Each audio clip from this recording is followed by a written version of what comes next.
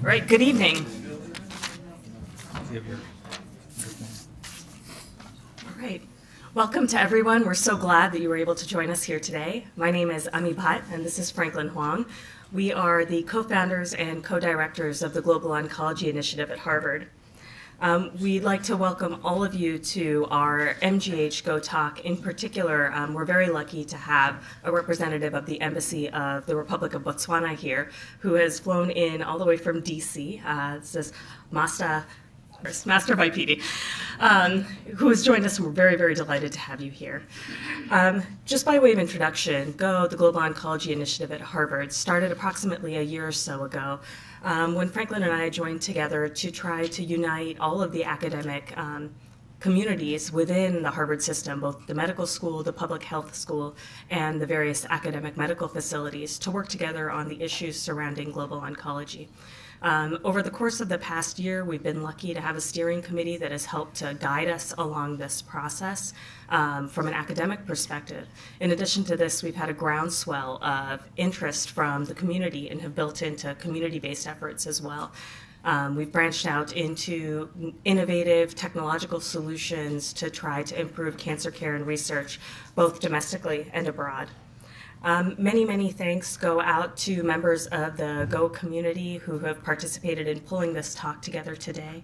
Um, in particular, I wanted to thank Rebecca Clayman, who represents MGH, Ali Chisti, and Teo Kolarova, who are the two student organizers of the event, as well as Bruce Chabner, Jason Efstathiou, Jason Harlow, and others from the MGH community who have helped to support the event. Addie Donnelly, Anna Norcross, and Lydia Shapira form our Go Talks core group um, and have helped to build this program as well. So the, the Go Talks started back in November. Um, we kicked it off um, at uh, Dana-Farber Brigham um, with, with Dr. Paul Farmer. And the Go Talks were really organized to rotate throughout the Harvard-affiliated hospitals and institutions as a way to catalyze both the community and build the community in global oncology, as well as take a new steps forward by bringing this uh, community together. So today we hope that that is one step forward, um, especially as we discuss and talk about Botswana and cancer care in Botswana. And um, all of the talks we should mention are um, recorded and live uh, uh, and available for webcast on our website, globalonc.org. So today we have a full program. We have uh, our keynote speaker, Julie Livingston, followed by um, our panel discussion moderated by Dan Longo, and we will have introductions um, uh, this, uh, this evening by uh, Dr. David Bangsberg and Dr. Bruce Chabner. So um, Dr. David Bangsberg is the director of the MGH Center for Global Health. For, for Global Health, he's a professor of medicine at Harvard Medical School, and he's also an associate member of the Ragon Institute of MGH. Um, he's a visiting professor at Mbarara University of Science and Technology in Uganda, and he received his medical degree from Johns Hopkins and holds a Master of Science from King's College at the University of London and a Master of Public Health from the University of California, Berkeley. We're very pleased that he could be here today with us. Thanks.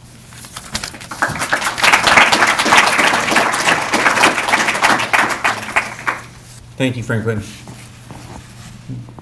Pleasure to have this wonderful event at Mass General. My deepest thanks to the Global Oncology Network uh, for uh, organizing this event and allowing us to um, participate. Also like to thank Bruce Chabner, Jay Loeffler, and Dan Haber for supporting global health and their departments here at Mass General. Uh, there is growing, growing enthusiasm for global health work at Mass General. And the mission of the Center of Glo for Global Health at Mass General is really to leverage Mass General's 200 year history of clinical care, education, and innovation to improve the health of our global neighborhood, our global neighbors. This mission is, stems from the core founding of the hospital. When in distress, every man is our neighbor. And with the talent at Mass General, we're truly reaching out to a global neighborhood. And this initiative of technology transfer to Botswana, I think, is one of our the best examples of such a partnership. This adds to decade-long partnerships focusing on HIV immunology in South Africa, social and behavioral aspects of HIV and poverty in Uganda, palliative care in Vietnam, maternal child health in India, and diarrheal disease in Bangladesh. My calendar is filled with students who are knocking on the door saying, I want to get involved in global health. I think there's a new wave of idealism in young people with a new sense of interconnectedness.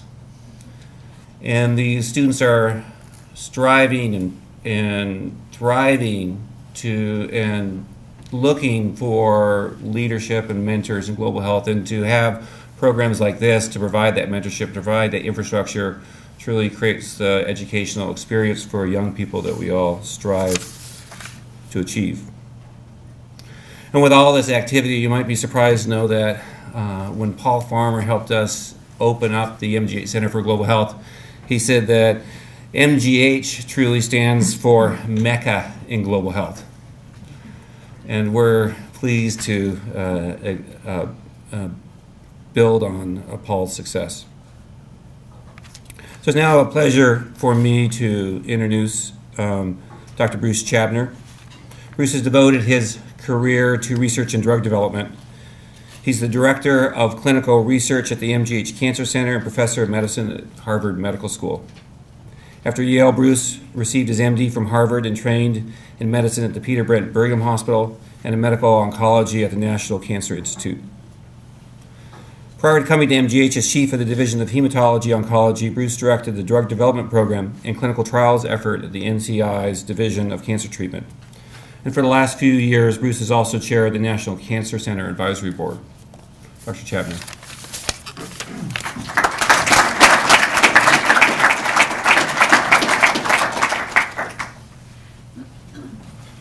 Thank you, David. I really had a very small part in, in organ, organizing this. Uh, I, there's so many people to thank, uh, particularly Jason. I don't know if, if you've been thanked yet adequately, but uh, he, has been the uh, guiding force here in terms of the relationship to Botswana and uh, actually introduced me to this effort. Uh, you've heard from, from Ami and, Franklin, who really initiated the program. There are a couple of medical students uh, that are, have been key. Theodora and Al, Ali, who's here, my golfer friend, and um, many other people that, that have really helped out. And it's particularly a pleasure now to introduce Julie Livingston, who's our, our speaker. Julie uh, has had firsthand experience with cancer in Africa, has written a very interesting book about, her, about that experience called Improvising Medicine. And um, I think that she has much more to tell us about uh, cancer as a disease and as a, as a social issue uh, in Botswana. Um, Julie is an associate professor in the Department of History with a major interest in anthropology uh, at Rutgers University, and uh, it's really a pleasure. Where's, where is Julie? I can't find her. There you are. Okay. Good, good to have you, Julie. And uh, I would also note that Julie's dad and I were interns together at the, the Brigham, so we go back a number of years. Julie, we're, we're, we can not wait to hear about your your experience.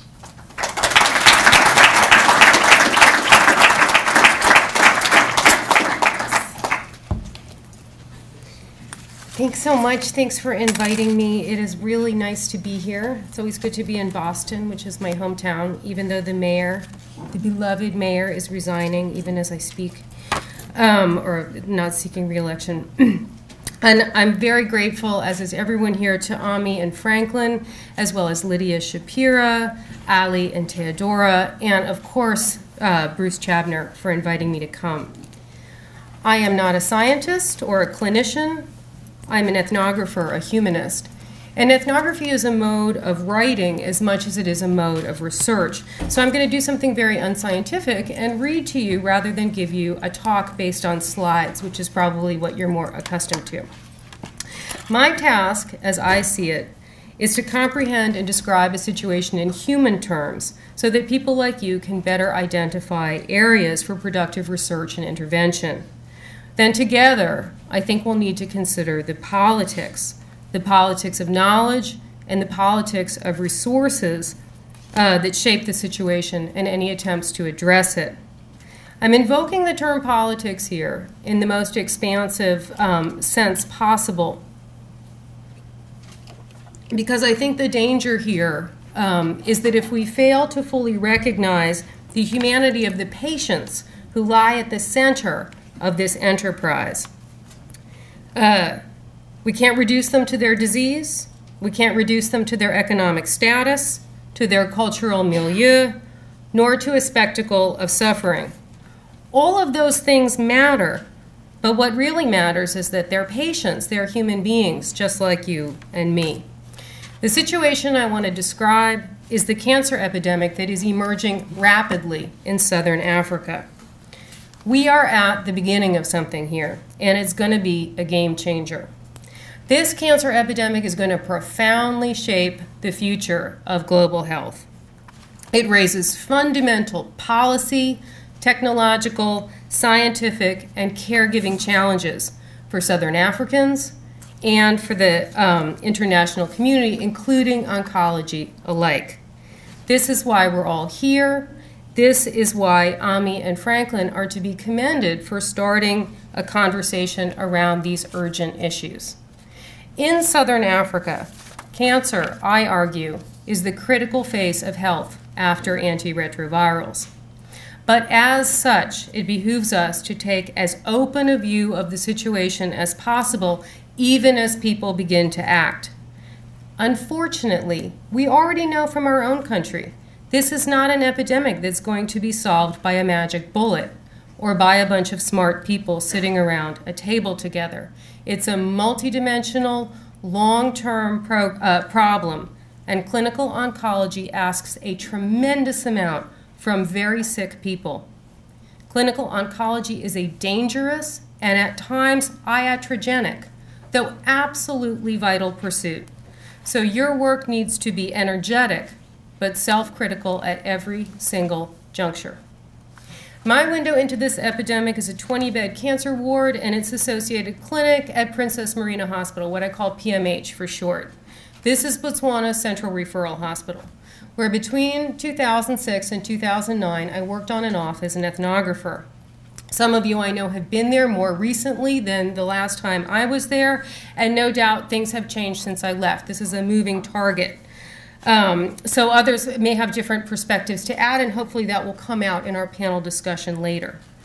I want to offer you the tiniest bit of background in order to get you situated.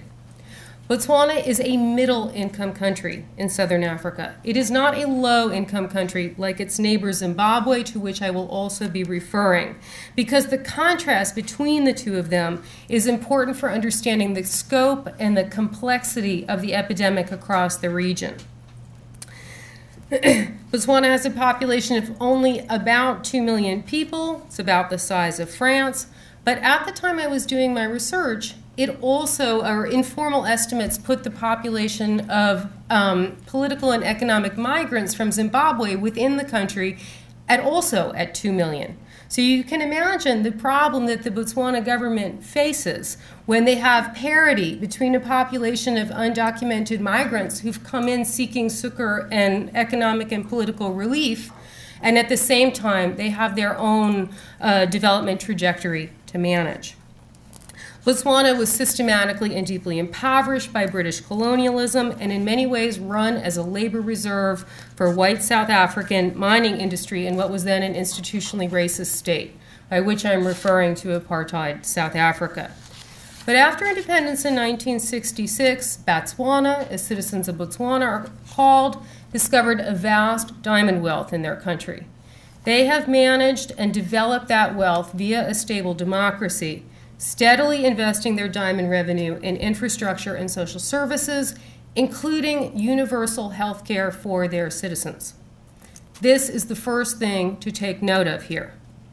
We have a middle income country committed to a system of universal care that they have built from the ground up. And I know Paul was here in the fall, so you've also heard about Rwanda's system of universal care as it's currently being built from the ground up. So, we Americans, including myself, here in our high income country, where we have been systematically dismantling our public institutions, might bear this in mind. As we look to partner with places like Botswana, we should do so with some very thoughtful respect in the face of their ability to accomplish things that we cannot. If we look to Botswana only as a site of suffering or of radical difference and rush in to quote unquote help, a century of historical experience from across the globe shows that when offered in that kind of mode, our help will be less efficacious. And as Americans, we have the opportunity to learn something from Botswana, something that could be tremendously valuable to us back here at home. Beginning in the mid 1990s, Botswana was at the epicenter of the HIV AIDS epidemic in southern Africa. I lived in Botswana during the worst years of 96 to 99, and the loss of life and widespread experiences of illness were truly stunning. In response to this, again, this very forward thinking, effective government partnered with the Gates Foundation and Merck Pharmaceutical to establish the first public ARV or antiretroviral program on the continent, which began scaling up in 2002. This is not an archipelago of little NGO run programs that patients have to run between, hoping that they can find a spot in, hoping that that program won't fold in the next year while they run to find a spot somewhere else, as you see in other areas in Eastern and Southern Africa. This is a public, nationally run program, the first one on the continent. It is enormously important the data from 2010 showed uh, nearly just under a quarter of adults in the country carrying the virus. So obviously, ARVs are absolutely critical. But unfortunately, human suffering is a cat and mouse game, and the distribution of antiretrovirals has helped to foster a cancer epidemic. Again, those antiretrovirals need to be there, but that's not the end of the story then the next problem necessarily occurs. We, we know this is how epidemiological trajectories unfold. Meanwhile, HIV has also helped to make the extant burden of cancers visible to public health. Let me see if I can briefly explain what I mean by this ethnographically.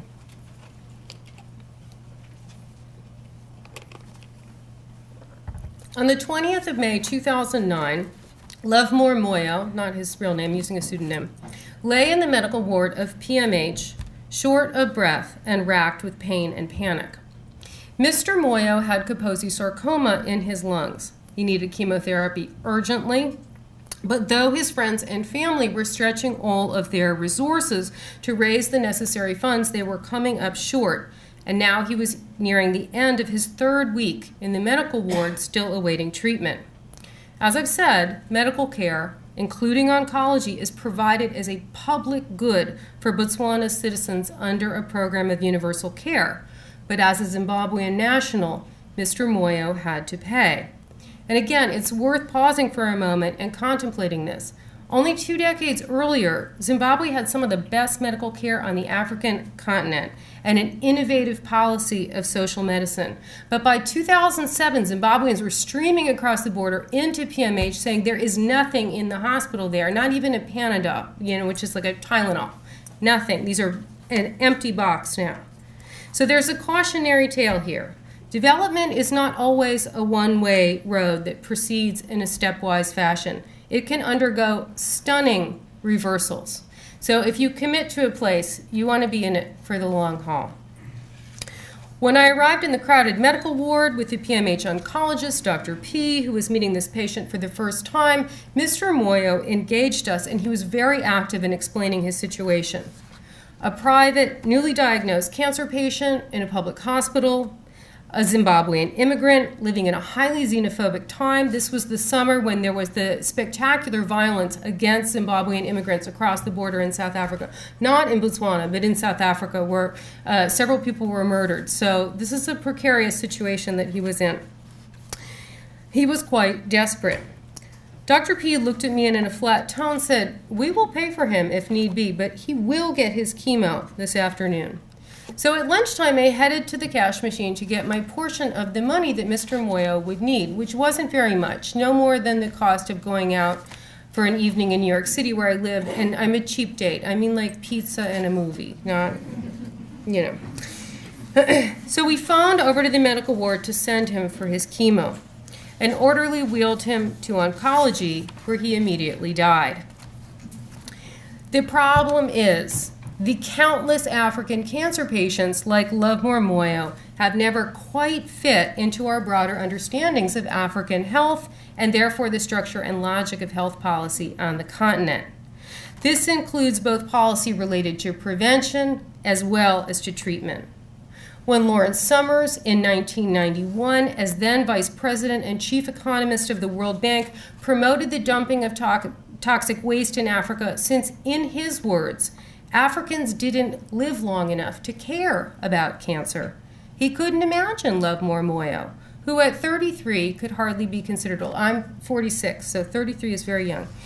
Um, nor could he imagine the fulminating mass on Mary Settebello's breast, the blasts packing Boniface Modipani's bone marrow, or the tumor that was strangling Radicamo Molefi's throat shut. Nor could he envision the seemingly endless queue of patients and relentless pressures on bed space in this tiny oncology ward where Lovemore died. I am sure I do not need to point to the irony to you all of the chief economist of the major engine of economic policy in the global south, the World Bank, promoting carcinogenic relationships as holding the path to African development. And yet, in this respect, Summers was far from alone. This is not to vilify him as a unique individual, but to just say this was a plausible thought for him to have at that time. Until quite recently, for the most part, global health experts ignored cancer, and the oncology community ignored Africa. This will have to change. This is why I am so encouraged to be here in such a full room. Lovemore had made his way to one small node in an all too sparse network of care for the millions of cancer patients across the global south. The ward was already overcrowded when he arrived, with two extra beds already crammed into the female side, thus taking up all floor space. This cancer ward sits at the end of a corridor that's lined with long, narrow wooden benches. Their patients and their relatives sit waiting for their turn in the clinic. Some of them have risen long before dawn to take a taxi or bus or ambulance ride from hundreds of kilometers away. Others come from within the city itself. Many will wait for five or six hours or more for their turn in the clinic office with the hospital's lone oncologist, who, in addition to an average of 25 to 30, but on the worst days as many as 40 outpatient visits in the day, also manages a 20 bed ward, performs his own cytology, administers the chemotherapy, and of course deals with a significant amount of paperwork. Only a decade ago, in 2002, the year that Botswana's lone oncology ward swung into action, there were an ex- estimated 650,000 new cancer cases on the African continent alone. And epidemiologists estimate that figure will double over the next decade. Men and women, not surprisingly, suffer from slightly different cancers. For men, uh, Kaposi sarcoma, or KS, was the most common cancer in 2002, followed by cancer of the liver, prostate, bladder, non Hodgkin's lymphoma, and esophagus. For women, cervical cancer takes the lead, accounting for nearly a quarter of all female cancers, followed closely by breast cancer, responsible for nearly a fifth. After that comes KS, liver, non Hodgkin's lymphoma, and ovarian cancer in descending order. Indeed, virus associated cancers like Lovemore Moyo's are emerging as a profound problem across East and Southern Africa.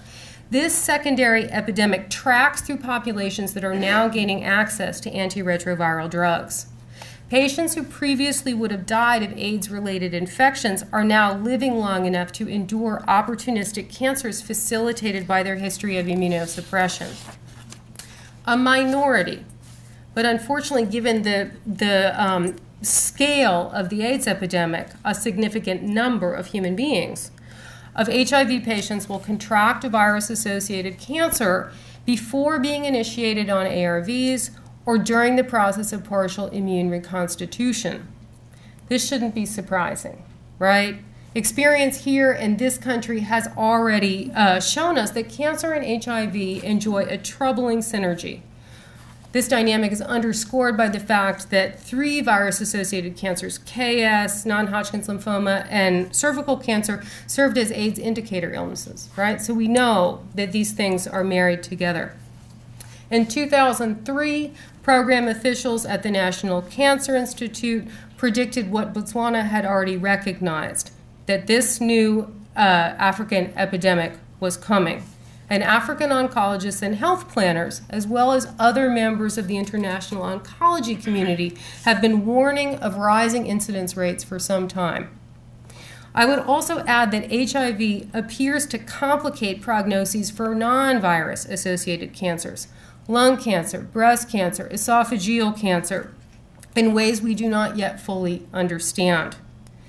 Meanwhile, the epidemiological and institutional attention that's garnered by the presence of these new um, cancer patients that are entangled with the AIDS industry that has come to Southern Africa is beginning to unearth, to reveal a much broader and longer standing problem of cancer on the continent. That epidemic is facilitated by shifting ecological, political, and demographic conditions.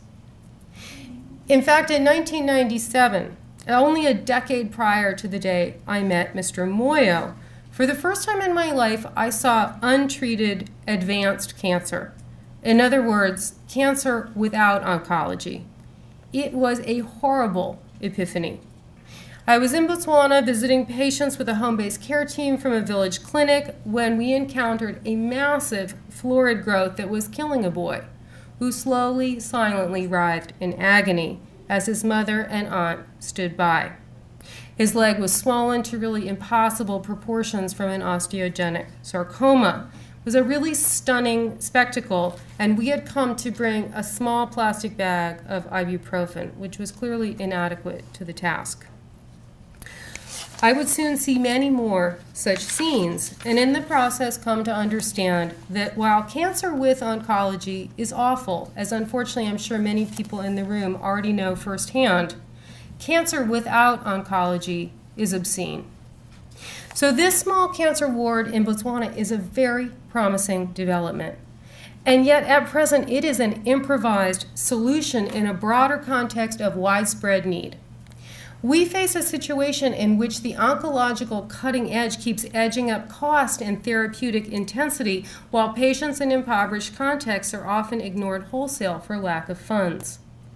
In middle income countries, like Botswana, patients receive care from clinicians who are buckling under the weight of growing caseloads, while at the same time they're struggling to adapt the type of knowledge, technologies, and goods that are developed here in Boston or in New York or in Paris to their own local biological, technological, institutional, and economic circumstances. This is no simple task.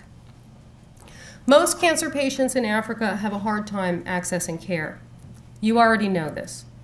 Experts estimate that only 20% of African patients have any potential access to radiotherapy.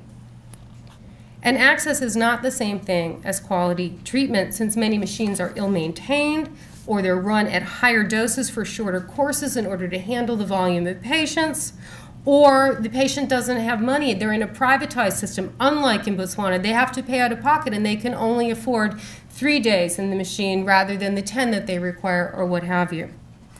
But even if care is available, as it is in Botswana, cancer in Gaborone differs from cancer in Boston.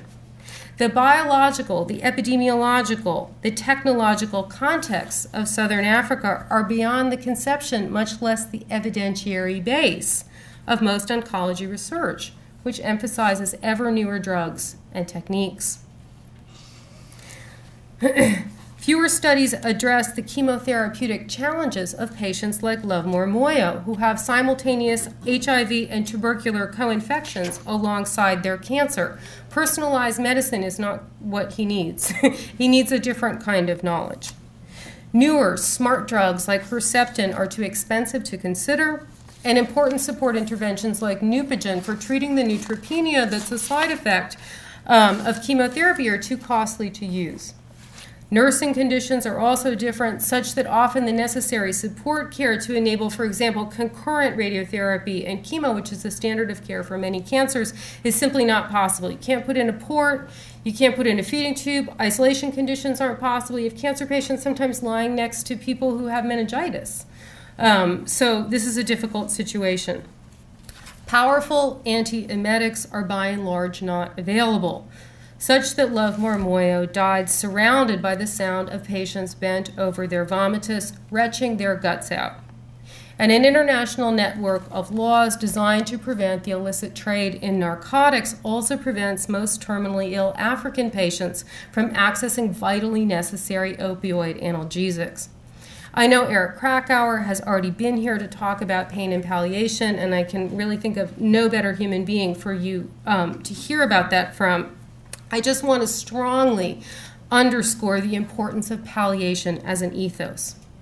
Of course, nothing palliates like cure. But if the cure makes you vomit so hard that you can't function for days on end, you might not be able to carry through the treatment to the point of cure, even when cure is possible. And of course, nausea of that kind is a living hell. So it is morally unacceptable to expect patients to put up with it when there are drugs available to ameliorate it. In most countries, thankfully not Botswana, patients must purchase their drugs themselves, and so they often cannot afford the entire regimen. I've uh, seen in context a patient return from the private pharmacy. They go, they see the oncologist, they're sent out into the marketplace to buy their drugs, to buy whatever equipment they need, sutures, a pocket of blood, you name it. Then they come back into the hospital, and maybe they've bought either doxorubicin or cisplatin, but they can't afford the full course. This obviously is not the way we want oncology to work. Even in Botswana or Rwanda, the two places where patients are receiving oncology, including drugs and radiation, as a right of citizenship, there are problems of supply. Evidence based oncology protocols published in the leading medical journals don't tell you what to do when etoposide, 5FU, bleomycin, or cisplatin suddenly go out of stock, as each of them did uh, for lengthy periods of time while I was working in PMH. Even when the off patent drugs in Botswana's stripped down arsenal are in stock, their oncologist needs to figure out how to be effective in a hospital that does not yet have an MRI machine, endoscopy, mammography, where tumor markers are unavailable, where often there are not enough platelets for all the patients who are bleeding. Needless to say, being effective in such a setting is a challenge, and it requires a high degree of intellectual and institutional creativity and energy. In 2010, I sat with an oncologist at a large public hospital in Zimbabwe as she combed through medical journals from the 1960s and early 1970s, which sat next to the latest issues of Lancet Oncology and Journal of the National Cancer Institute on her shelf as she was trying to determine the best course of treatment for her patient who was waiting outside on the bench.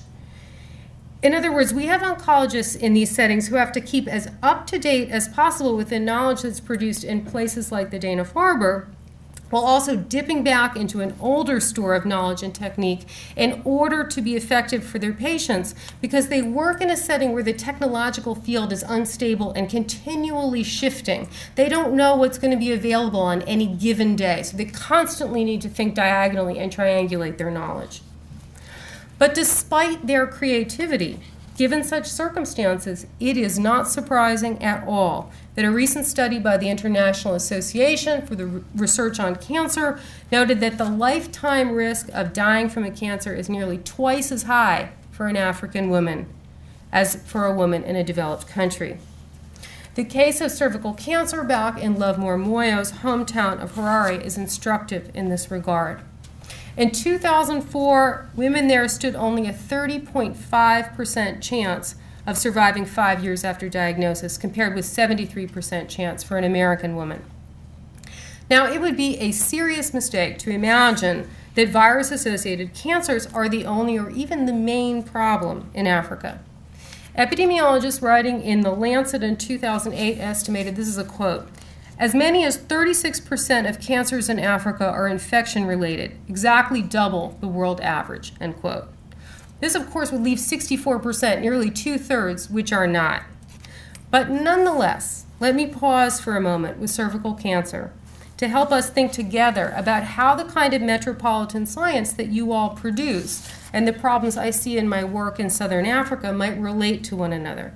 Especially since it seems lately that cervical cancer is the thin end of the wedge. It's the cancer that garners the most attention to the problems that oncologists and their patients face in the region. Back in PMH, just across the ward from where Lovemore Moyo's corpse once sat, a row of women with cervical cancer lie in their beds awaiting a van that will take them across town. There, they're going to queue for their turn with the country's only radiotherapy service, a linear accelerator owned by the Gaborone Private Hospital, which serves um, public patients on the government's dime. So it's a public private partnership that's internal to the country. Um, although I do understand that new brachytherapy um, facilities have been established since I left, which is really wonderful because it used to be that then those women had to cross the border into South Africa to get internal radiation before being sent home. So that's a wonderful development. Some of these women are actively bleeding, many have serious pain, all are understandably worried about their futures and those of their children. These are women who are diagnosed at one of the country's two colposcopy clinics uh, after which they're booked a few months hence to complete diagnosis and begin treatment. Because of the capacity for laboratory testing and treatment are inadequate to the volume of patients, these patients have already waited for several months for the results of their pap smears and then another several months for booking at colposcopy. Nearly all of them who are eventually diagnosed with cancer are too far along for a simple hysterectomy, and many of them have HIV further complicating their treatment options and further lowering their chances at cure. So the new see and treat programs, you know, where they do visual inspection with acetic acid and then cryotherapy, like the one that's currently being pioneered by Dr. Doreen Ramogola Masire in her women's health clinic in PMH, which is part of the Botswana UPenn um, partnership, are a very welcome development. She's the in-country director of the, that partnership. So too is the potential promise of a vaccine. But preliminary research points to potential problems in southern African reliance on Gardasil and Cervarix, the three part high cost vaccines for HPV, which were developed with American consumers in mind. So I give this to you as an example. Gardasil and Cervarix address the um, two oncogenic viral subtypes, type 16 and type 18, that are associated with the vast burden of cervical cancer and dysplasia in this country.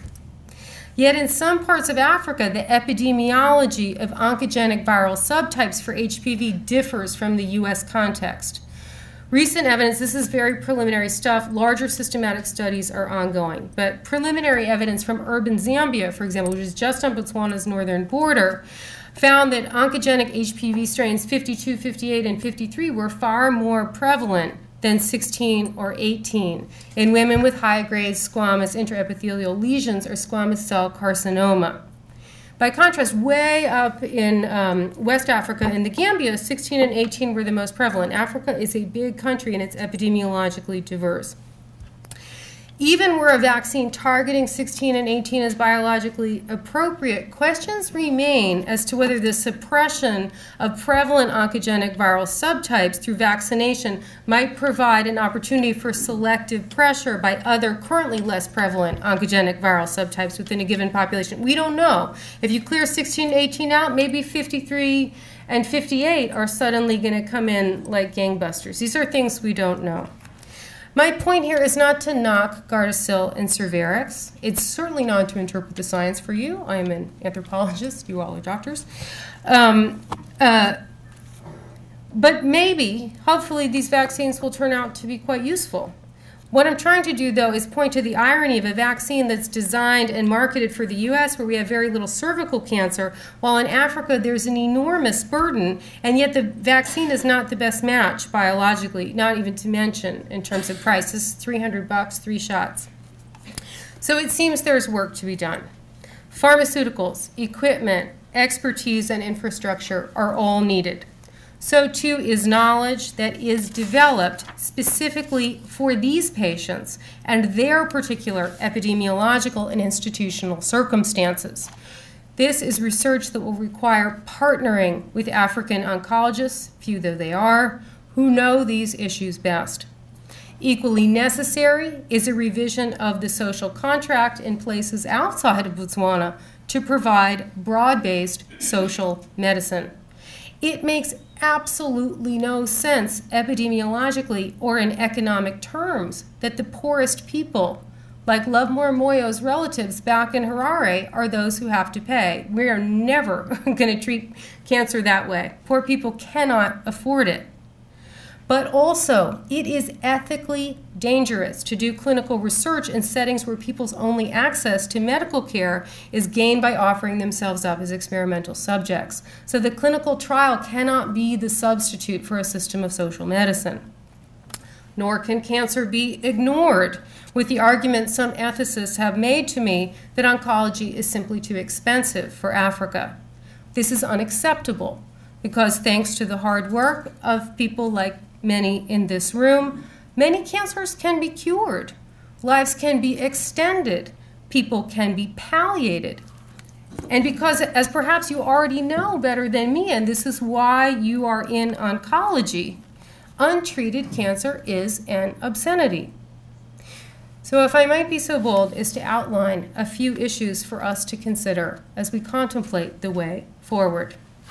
Number one, epidemiology. This is a complex but incredibly necessary business. Right now, cancer epidemiology in Africa is based on precious few registries and then extended through modeling and amplification, amplification to other sites.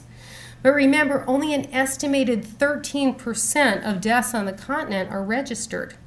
And gross population figures in many countries are politicized and unreliable. Just to give you a sense of what you're facing, the denominator is a big question mark, and now you're trying to count the numerator. And as we've all seen with the past history of HIV epidemiology, how totally often, in some cases, frankly, cooked the numbers have been at different times. And of course, cancer epidemiology is going to require pathology and screening, and in some cases, like I've just described with HPV, genotyping. So that brings me to thing two, which is needed laboratory capacity. Building sustainable laboratory capacity in terms of technology, infrastructure, and expertise will be critical.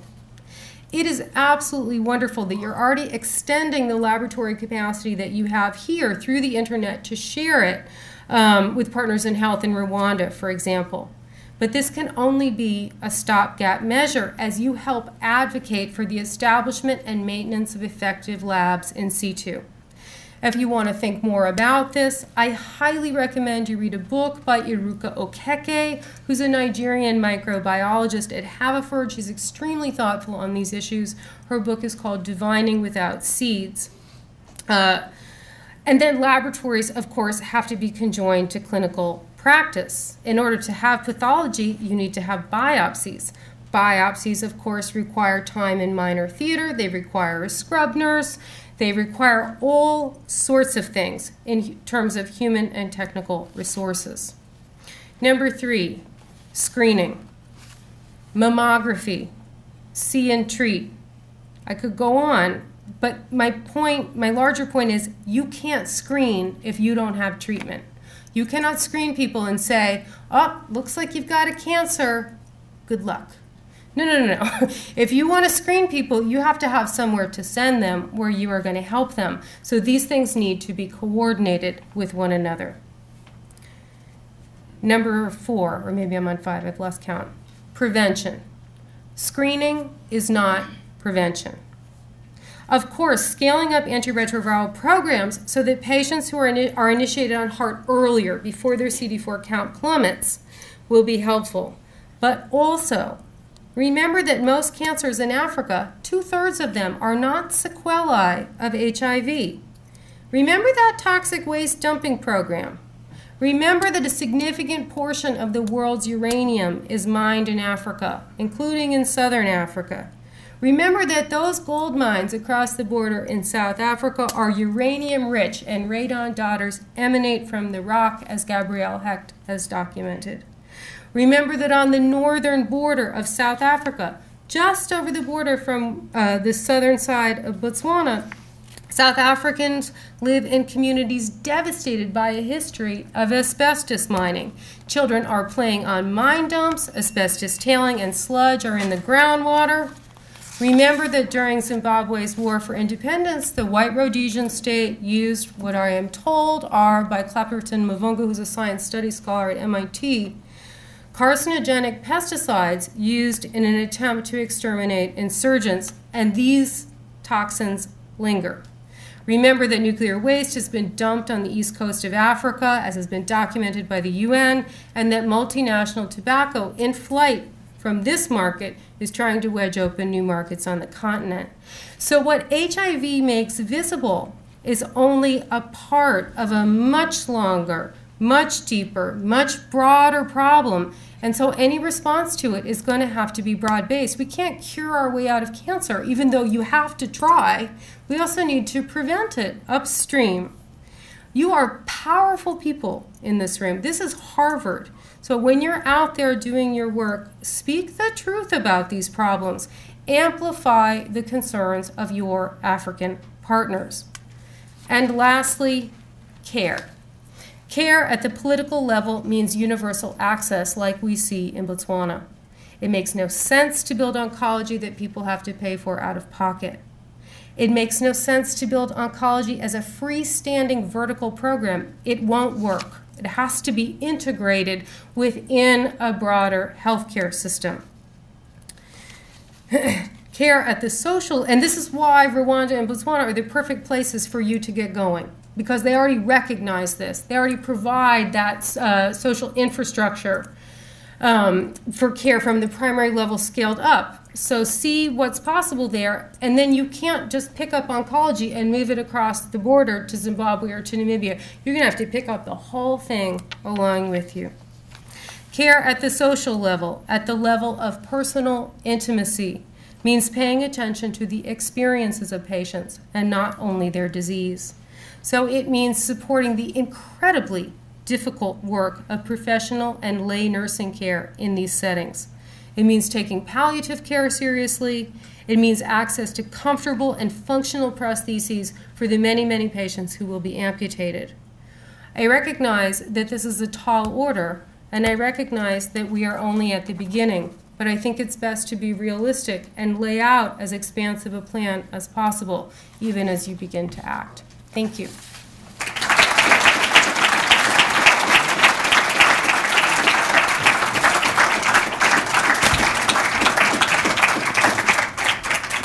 Um, First of all, thank you, Julie, for that wonderful talk. Um, so I'm Teodora Kolarova, and I'm a first-year medical student at Harvard. And my name is Ali Chisti. I'm a master's in public health student at the Harvard School of Public Health. And um, we help plan and coordinate the Go Talks with the help of many of the faces in the front row and throughout the room. Um, so for the next few minutes, we'd like to actually uh, open up the floor for a Q&A for Julie. Yeah, so- yeah. um, uh, right before the, the panel, which will be next. So any questions you guys have for We, Julie? we have a couple of mics floating around there, so if you just raise your hand, we can get a microphone to you.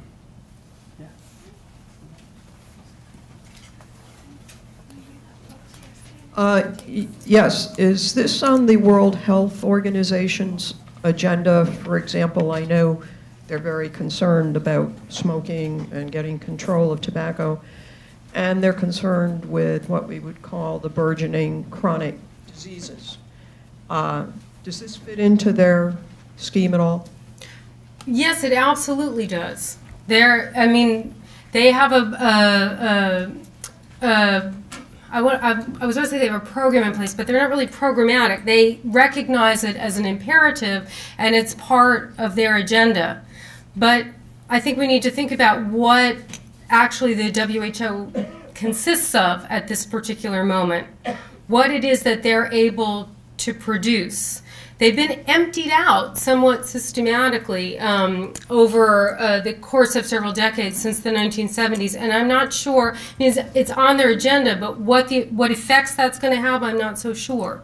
I'm sure perhaps you can uh, speak. Somebody else can speak to that more strongly than I can. But yes, they're they're quite aware of it, and it's part of that non-communicable diseases um, initiative that they're moving forward on. I I mean, we could talk about hypertension and diabetes in southern Africa, and we also would have a tremendous amount to talk about, that's for sure.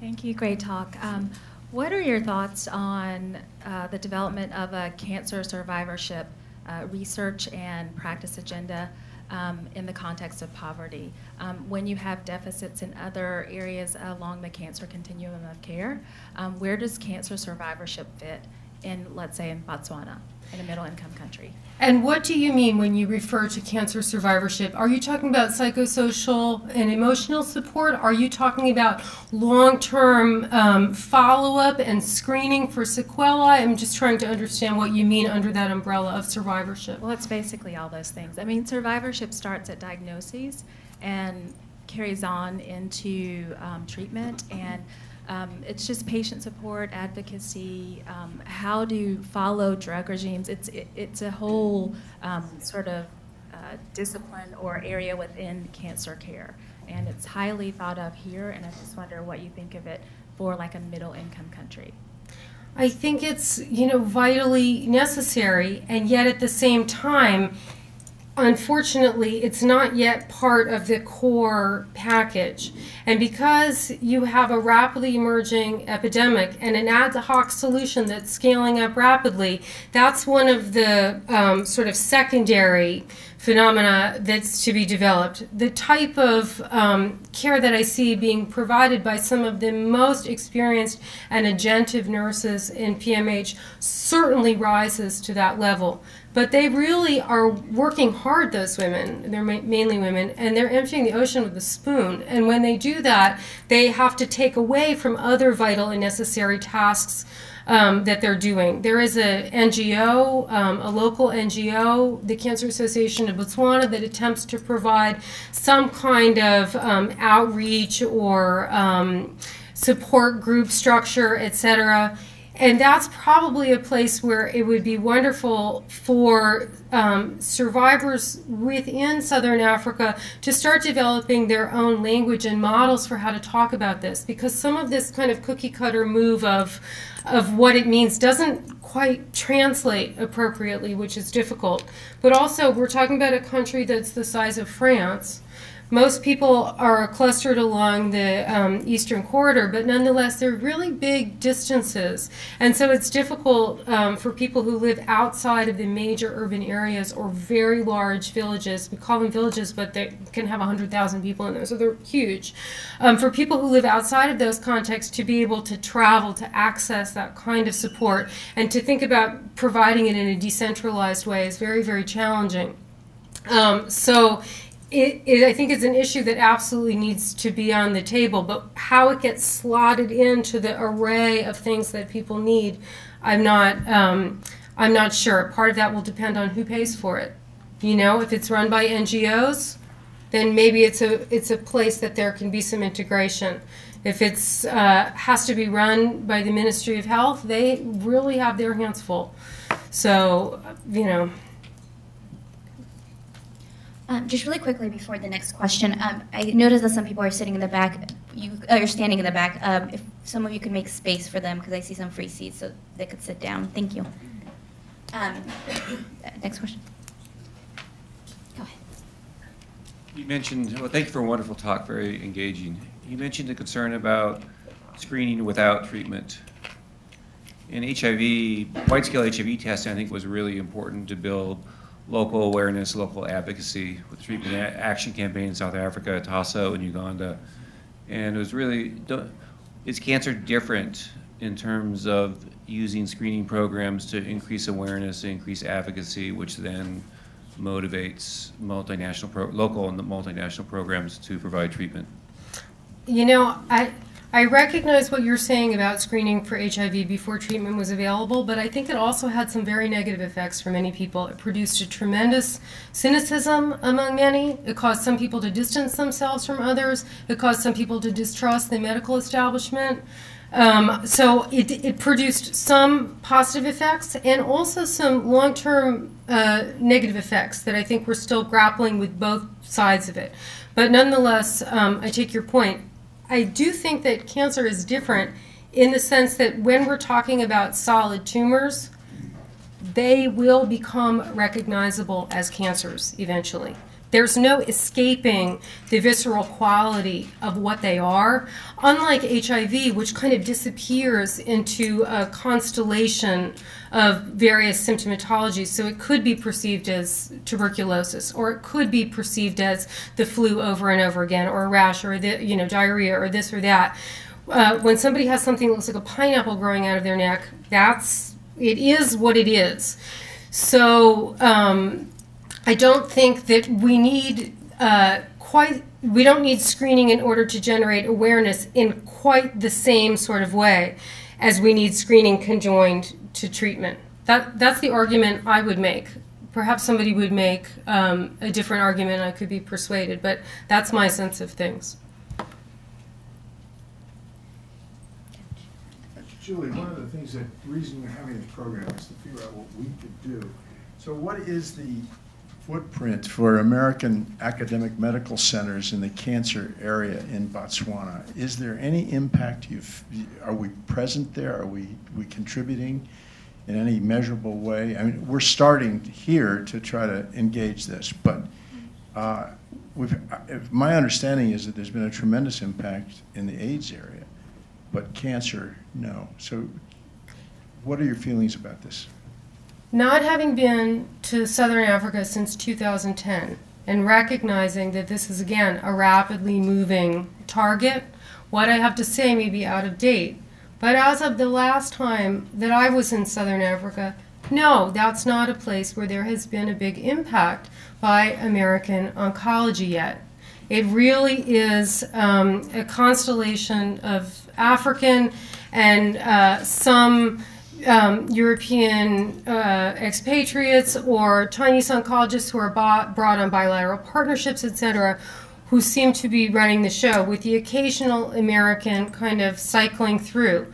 But that said, I do feel that there's a receptivity and an openness on the continent to it from what I can see. And there are older, longer standing partnerships in Uganda in particular. The Ugandan Cancer Institute throughout the 60s and, you know, heading into Amin and Obote when it all fell apart, had these really avid partnerships. And many of those partnerships are being reconstituted and rebuilt at the Ugandan Cancer Institute.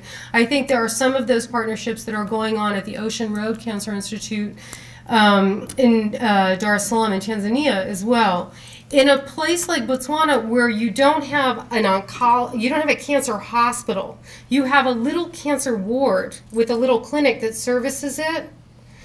You have a, a very different um, kind of situation where I don't think is going to be the first place you're going to feel those sorts of partnerships, except for the fact that here you are, and now I understand you have a tumor board that uh, you know, you can help with pathology when pathology is not possible there, et cetera, and those things are meaningful. Um, what kind of impact can be made? I think the first thing to do is to go and ask the people there who are working in oncology what kind of impact can, what do you need? What do you want? And I think one of the biggest things you can offer is knowledge that works in the context. I don't want Botswana to have second class oncology. No, that's not what I'm advocating. But meanwhile, their uh, constellation of circumstances on the ground requires that diagonal thinking, which is very, very difficult. And it has to be done rapidly, rapidly, rapidly, rapidly, because there's this massive queue of patients. The oncologist that I worked with um, for several years, and I see what you see here also knows him, uh, uh, Dr. Pileski was quite brilliant at this. And he worked for 14 years in Zimbabwe. Then he worked in Botswana for nine years. Now he's gone back to Zimbabwe and is in semi retirement. But what he knows, he knows because he worked as a cytologist and as a hematologist oncologist and in consultation with the radiation service. So I think we need to find those people and figure out what they know and what they think should be uh, the list of priorities. Waiting, you know, four months for a biopsy at minor theater suggests a whole uh, constellation of things that are necessary. So too does the absence of cytology when he goes back to Botswana. You, you need a dedicated cytologist. These are things you uh, guys have the ability to share, to produce. So too does your ability to bundle with you when you go the Kytril or whatever the brand name is here so people don't have to puke their guts out. There's nothing cultural about not going back for your next round of chemo. People say, oh, maybe those Africans are too superstitious to follow through. No, it's hell. It was hell here. It's not the same. It's still hell here, but it's not the same kind of hell. And if we want people to believe that we care about them, and that's why we're bringing this, and we're not just using them as a bunch of guinea pigs, we have to bring the good stuff at the same time that we bring the horrible stuff. They call it the red devil too. You know what I mean? That's something that we share. So I would suggest that we need a multi-pronged thing that scales up simultaneously. Laboratory capacity has to be part of it. So too does this uh, sharing of human resources, but so too does the palliative care piece. I know that you know I don't have a simple answer, and I I can imagine that that may frustrate all of you tremendously. Um, but I would say each piece of it that you pick up, okay, you can only do one piece at a time. Remember all the other pieces as you do your piece. And never ever think to yourself that the people there are too stupid, too inefficient, too lazy, too something. And that's why they don't have the other pieces. That's just not true. You know, everywhere you work, there's some duds. We know them, right? there's nothing cultural about that. They're those people. But d- that's the low hanging fruit. Just make your way past them and find the energetic people, right? Well, we're not ready to keep talking about these themes in the panel session of our talk, which will be followed by closing remarks by Dr. Jay Loeffler. So if the panelists could come to the front, um, Dr. Efstathiou, Dr. Chilume, and Dr. Dryden Peterson. I, I also have the opportunity of introducing our panel moderator, Dr. Dan Longo.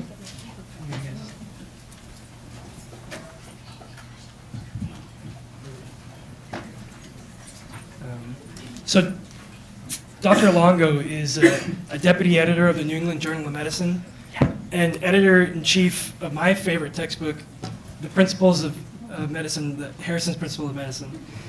He's a he's also a professor at Harvard Medical School and a physician at the Brigham.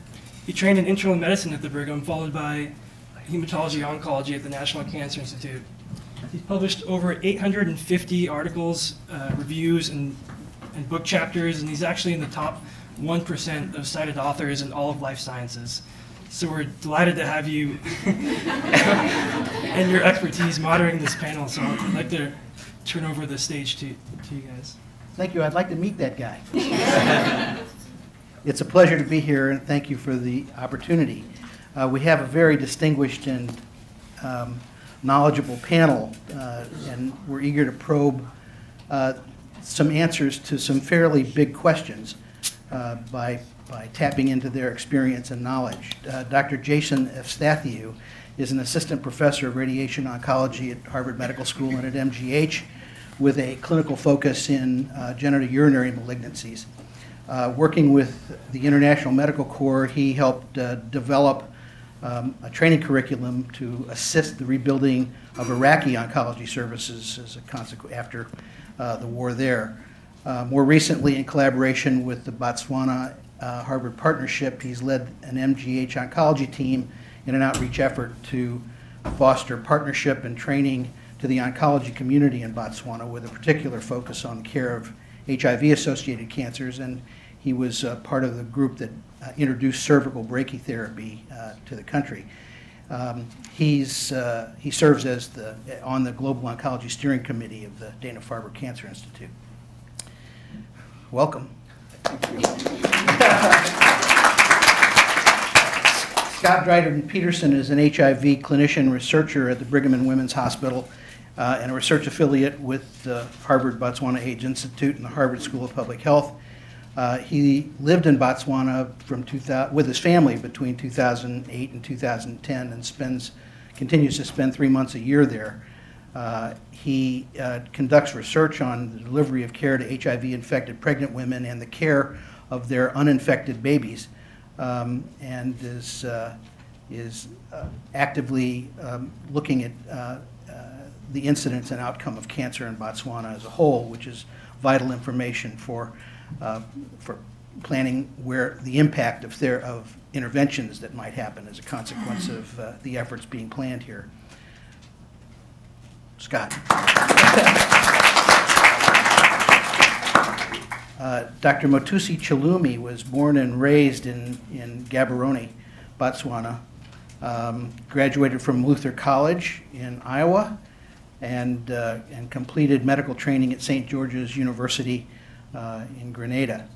Uh, after completing medical training, he went back to Botswana and worked as a medical officer in, I, I think, in uh, PMH, if I'm not incorrect. Um, and uh, we did that for three years and then came back to the United States to train in family medicine at Lancaster General Hospital in Lancaster, Pennsylvania. Uh, he obtained special training in HIV medicine and is certified by the American Academy of HIV Medicine and currently works at the Whittier Street uh, Health Center as a family physician and focusing his attention on the growing HIV population in that clinic. Uh, Dr. Chilume. And finally, Julie Livingston. Dr. Livingston, uh, I won't say I presume, uh, but I did, didn't I? That's a par- that's a paralipsis, and I won't mention that. Anyway, uh, she's done an outstanding job of setting the stage for uh, the, the subsequent discussion. Um, and uh, the team has put together a series of questions that we'd like to try to address in the next uh, 45 minutes. And the first one is a big one. What kind of cancer care is needed in Botswana? In the United States, certainly, we've evolved to a point over the last 60 years of multidisciplinary teams. Uh, there's a focus on prevention. We've had a war on tobacco. Uh, there are interventions to reduce the risk of people who have genetically predetermined high risk for uh, certain cancers. Um, this, these interdisciplinary teams plan an approach for a patient often based upon molecular characterization of an individual patient's tumor. Uh, all of these are very expensive technologies uh, designed to optimize care. Nevertheless, the fundamental paradigm of cancer treatment remains taking the patient to the edge of what they will tolerate uh, in order, physically and mentally, in order to try to eradicate the cancer. The, this is not straightforward, uh, and it's not something that is uh, already a part of Botswana culture. And so the question is, what, are, what do, does the system need to look like? It, what parts of the American system are translatable and are not? And what can we do about making a start? What barriers need to be overcome? So that's sort of a lot of questions at once, and I apologize for that. But um, what should, are we trying to create a Western medicine system there? That's, I think, the big question. You're looking at me. Well, I- Is this microphone working? Yeah, okay, good. Well, um, this is a complicated question, uh, a series of questions that, that I surely don't have answers to, uh, maybe some, some observations. Um, Cancer care is very complicated. It's integrated, it, re- it relies on the piece of information you were just given to develop the next uh, decision-making. It requires a lot of resources. It requires a lot of stakeholder engagement from everyone. Uh, that includes uh, the government um, and, uh, and, and care providers and patients, et cetera. So th- this is a huge issue. I can comment maybe on a few things. Um, diagnosis of cancer is clearly where it starts, assuming you have treatment, as Julie's pointed out, to follow. Uh, and that can be very complicated in, in Botswana. There can be significant delays to diagnosis of a cancer. Some of those are that the individual patient ignores symptoms. Some of those are that care providers in the communities don't recognize cancer symptoms. Um, some of those come from the delays uh, uh, from biopsy to the receipt of pathology. Uh, there's a lot of different steps. Some of those uh, re- come from a, a reliance on, on even traditional healers and, and the potential delays to diagnosis and, and definitive therapy that might be available. So starting to address all of those issues is critical. Um, that's just one comment. Another would be that this, this need for interdisciplinary efforts and integration care. Uh, I, I can give a, a- couple of examples. Um, One is, and, and this is an extreme example, and this is an example that we'd find in the US, so by no means is it unique to Botswana. But it was highlighted to, to our team when we were there uh, uh, over a year ago for our first visit. Uh, It it dealt with a, a lady, a breast cancer patient, who received a diagnosis of breast cancer based on a breast mass. Um, It led to a mastectomy. It led to adjuvant chemotherapy, adjuvant radiation, radiation therapy, all the things that we would do here. All the pieces of care were there. It also led to horrific lymphedema of the upper extremity. And to this uh, mother of three, it, it led to the, the, uh, her husband leaving her because of this potential disfigurement. And now you have a single mother dealing with all of these issues. And then it came to the question of tamoxifen, the ERPR status of, of the tumor that many in the audience know about. There wasn't the capacity to do immunohistochemistry, nor is there really yet the capacity to do immunohistochemistry in Botswana. So this, these, the slides were sent to South Africa for that. And the all the slides were sent, and, and, and back came um, the, the, uh, uh, the report, which said that the patient never had cancer. And so this is an extreme example, and I don't mean it to, to, to be, uh, uh, it's not commonplace. Uh, And this is from years ago, it was told to us from one of the clinical oncologists uh, that was there, It was a patient of his. And of course, he had to have that conversation with the patient. It just tells you how complex cancer care delivery really is, and how you need to build all the pieces of the puzzle, and how you need to encourage communication amongst care providers.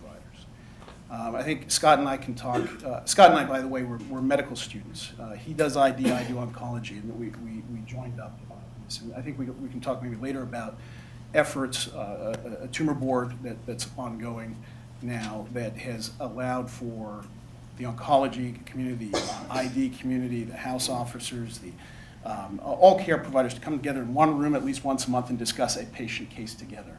And the enhancement in communication, the addressing of potential systems issues in the delivery of care, that at least it starts to point out, the questions are raised.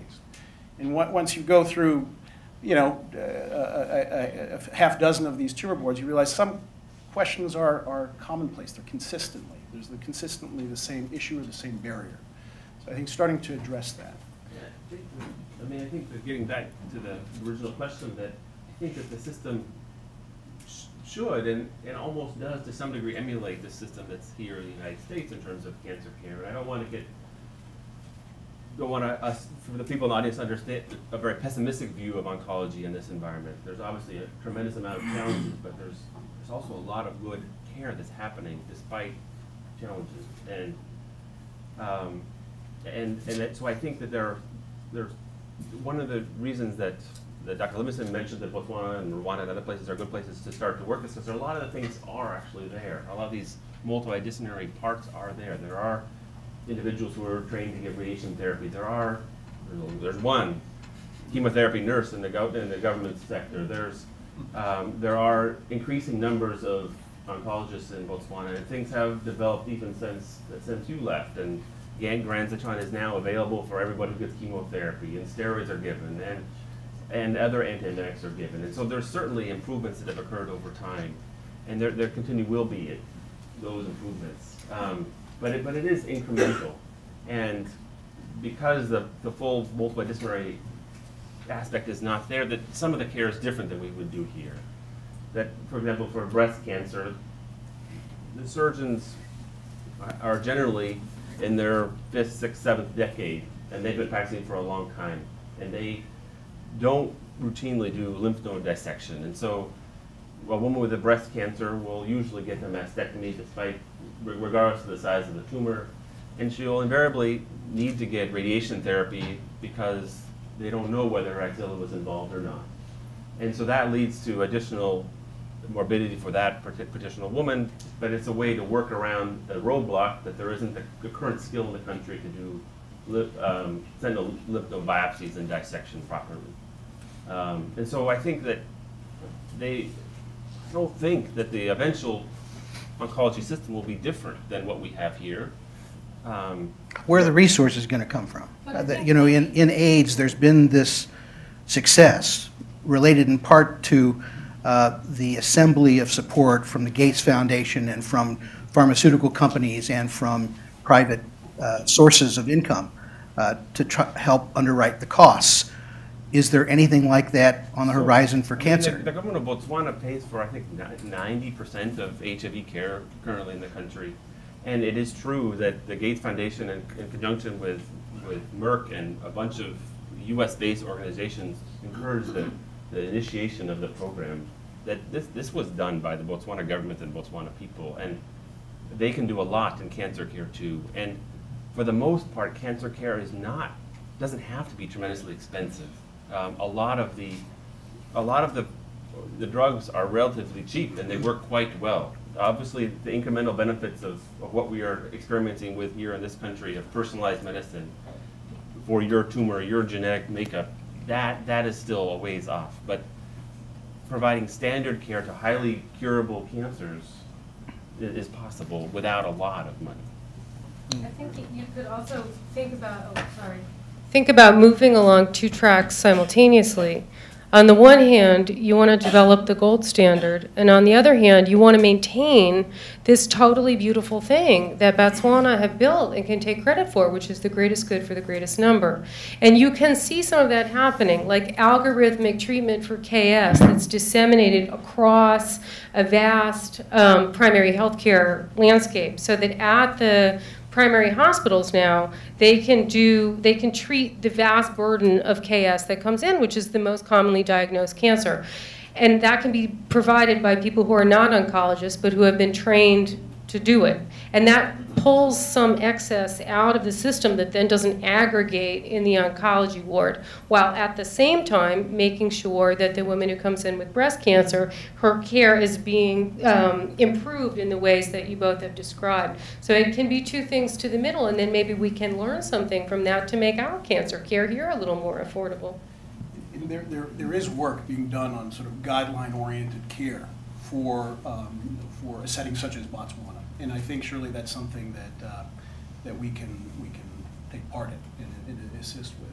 The other, the other one big thing that I just want to highlight that, that was notable to our team, at least in our visits to Botswana, is challenges in follow-up of care.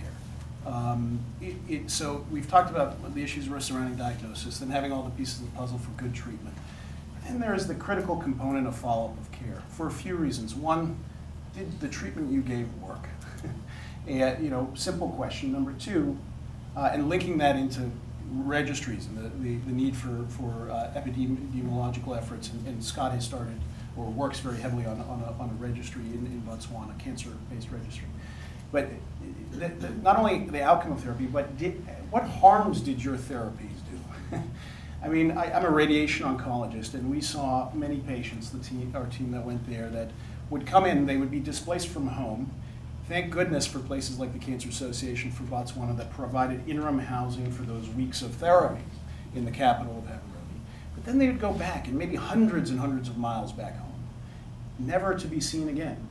What did that radiation do? Did it cause horrible effects? Did it cure the cancer? We don't have those answers, and that needs to be instituted somewhere, and that's complicated. Do you think that that, that, that follow-up needs to be uh, professionally trained MDs, or can community health workers be trained to collect the information? I, I, I think you nailed it. I mean, there are many models of good care delivery, right? Uh, algorithm-based care, uh, other specialized trained uh, oncology care providers that surely don't have to be MDs, and probably are better not to be, unless these are serious complications or issues that need to be addressed uh, uh, in that way. But, but that's a big one. Um, And, and I, I don't know, maybe Scott can comment on, on the issue of, uh, uh, you know, the- the Botswana-Harvard Partnership has been in Botswana for over 15 years. It's been a big part of the, the antiretroviral program there. How, how is, how is that follow-up care delivered for patients on, on long-term HIV meds? Whether it's task shifted, you mean? So in Botswana, no, it's generally it's provided by physicians, um, initiation into antiretroviral therapy, and then usually the follow-up visits is by physicians. In, part due to a strong lobby of nurses that, you know, have a relatively narrow definition of what they, their, their job description is, but maybe you can speak to that more. Yeah. that daily. Yeah, I think uh, to to really understand how to move forward. We have to understand the setting and the limitations of the setting, and we, you know we have a lot of limitations, and talking a little bit about uh, you know doctors. You know who's going to do the follow up? Do we even have enough doctors to do the appropriate follow up? That's that's the first question. Um, and then do we have systems in place? You know, do we have somewhere that if you know they find that there is an issue, do they know that there is an oncology ward at Princess Marina that you know they could even just pick up the phone and talk to someone. So uh, there's there's a lot of infrastructure issues that would really really have to be addressed in in order to understand the way forward. Um, and you know, multidisciplinary is good, but when each of those disciplines in of itself is not working well, how are they going to work well together? So, to build up that care, you really have to start from really, really the bottom. So is the AIDS effort tightly networked with local physicians? Uh, Is its success related to a group that's communicating regularly with one another, or is it more recipe-driven?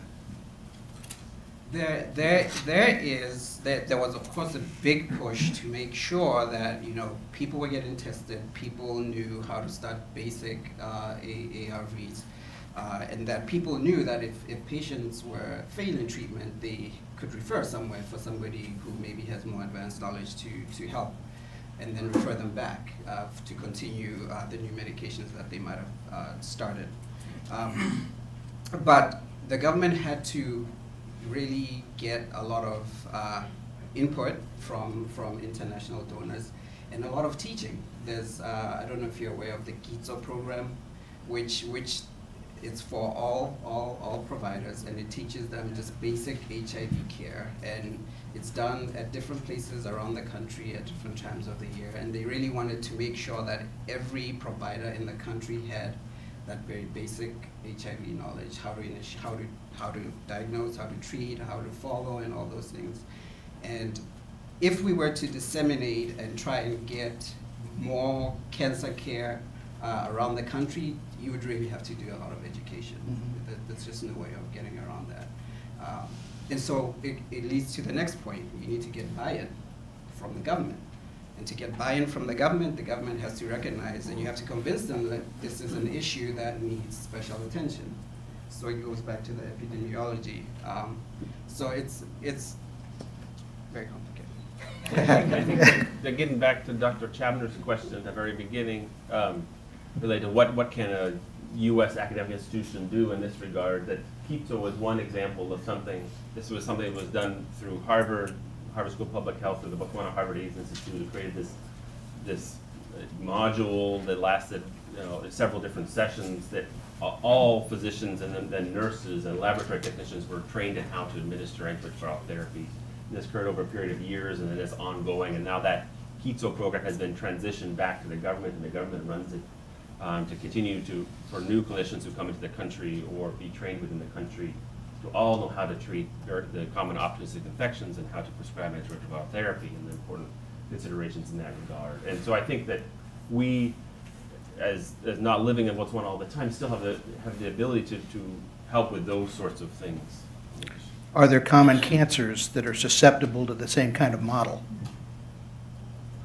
Um, well, as Dr. Livingston alluded to, that the, the, the, the most common cancers in Botswana um, are cervical cancer, Kaposi sarcoma, breast cancer, um, and to, to a certain degree, that, what's that?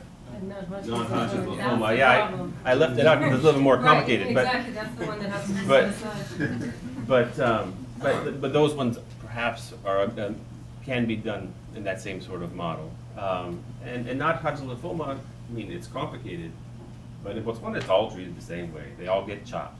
And so that too has the ability to be taught to, to a greater pool of people than currently know how to do that. Uh, What about the current global efforts in Botswana? What, what needs to be amplified? What's working, what's not working? By global efforts, you mean sort of collaborations with others? Yes. Uh, you- uh, Dr. Livingston mentioned a Pennsylvania collaboration, and there's the Harvard connection, and there's this effort of the Global Oncology Program. So, uh, There's a Baylor one, I mean, you know. Baylor Beats. Yeah, there are a lot of players. in Yeah, but, and, and I think that, that right, there aren't that many that are doing oncology care at this moment. Um, And uh, the, um, the Baylor program, which was set up to provide um, HIV care to children in, um, in Botswana, um, has been phenomenally successful with that in Botswana and in many other African countries. Um, Hosts a, a permanent Baylor-employed um, oncologist who treats all the pediatric cancers for the country and also consults with other different, re- other countries in the region as well. And I think that's a, a a relatively successful model, although there haven't been local pediatric oncologists trained in combination with that program, and so the sustainability is always a question. Um, And, you know, our nascent sort of collaboration, I think, is also helping to some degree, but we don't know whether that's gonna be sustainable. So, I mean, on, on that point, we- we, um, the folks who have been there the longest and have had successive models uh, are, are the, the HIV, the ID folks. Um, You know, the Botswana Harvard AIDS Institute uh, has been there for over 15 years. Penn has had a presence there for a shorter period of time. Penn has been very involved in uh, some screening programs and- and screen and treat sort of uh, um, uh, programs that, that clearly have been successful models. Um, Our effort is a, is a, is a young one. I mean, it's been, it's been just since January of 2012, so a little over a year. Um, I think the important focus there, I mean, your question is what's successful in global oncology. Um, I think we have, I think we have Tim Russell back there. Tim, do you mind just raising your hand? So just want to credit uh, him for, to date, having made two two visits, a third visit coming up, for really helping introduce specialized treatment care that can fit, fit kind of algorithm-based care, in this case cervical brachytherapy, which we know is a curative treatment for these uh, uh, women with cervical cancer. Um, It needs really quite uh, uh, uh, expertise level of care. And now, what Tim has done in just two visits to date is not, he's not the one performing them all, he's performed, you know, many, but he's built the capacity there to do it. And, and very much now, I think uh, Tim would agree that the, the, the the oncology folks there are doing this independently and are doing it independently quite well. So here you have a new cur- curative therapy introduced into the country just over the last year that is clearly going to show benefit over time. What's your next step? Well, th- th- you know, that's a great question because, I- you know, our model of engagement has been one of capacity building and expertise issues. And so our, our immediate next step is another trip coming up in May where we uh, have so far been kind of radiation focused, but now very much extending into medical oncology. Bruce is, will be joining along with Jeremy Abramson, who's here, and, and they'll, they'll be addressing the lymphoma uh, uh, specialty expert issues.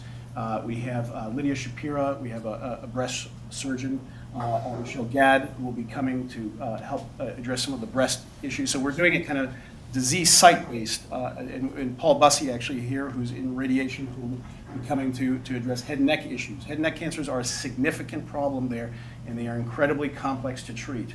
And radiation is a curative treatment, and radiation has to be done well in that setting. And so he's going to try and do that. Now, that, that's really, again, capacity building using all the very strong local talent that's there and just, just kind of expanding the level of expertise. But our, I think our real successful model of engagement, and one that one could suggest academic centers could use as a potential model, is, is what Scott and I and a large team have worked on, which is a, a monthly tumor board, right? So this is done by teleconference. It's uh, done with uh, internet-based, uh, kind of WebEx-based uh, uh, participation. It has had anywhere from 20 to 50 participants on the Botswana side, and that is, that, that extends not just MDs and oncologists, that's the ID specialists, that's the house officers, they're the radiation therapists, uh, et cetera, are in that room to get pathologists, uh, uh, radiology, they're in that room together. And that is one of the very few times that, that they're in the room together. And they can meet each other and talk about things and see what, what, what systems issues can be addressed while being linked, in this case, to MGH Harvard-based sort of disease site experts that deliver peer review and, and commentary on, on ongoing challenging cases. So this is a, this has been going on for over a year now. It's happening monthly. We, we feel that it is a successful model. And I think that's a nice way that we can remain engaged in a longitudinal fashion and potentially a very sustainable fashion. Uh, without having to, you know, sort of be on, on the, on the ground um, uh, 100% of the time. Th- Just one last thing to say on all of this is, this is not just Harvard or MGH saying this is the way to do it, right? I mean, uh, if you come to these tumor boards, you very much learn that this is a collaborative partnership that takes into account resource potential limitations that are there. Um, uh, but it's a two-way street. We have a lot here to learn about cancer care that is done well in Botswana. And this goes back to, to, to Scott's point. There is a lot of excellent care delivery there, and there's expertise that is there that we do not have.